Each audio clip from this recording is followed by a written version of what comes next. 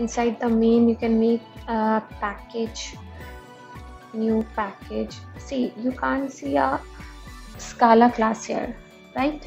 So sometimes this happens. So what you are going to do is right click on project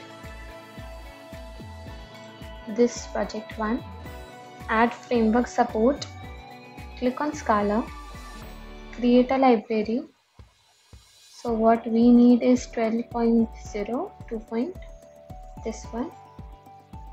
Okay.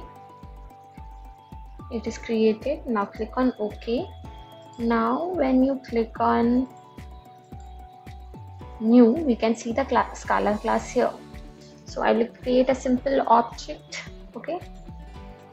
Um, we are going to do a connection. So name it as connection connect here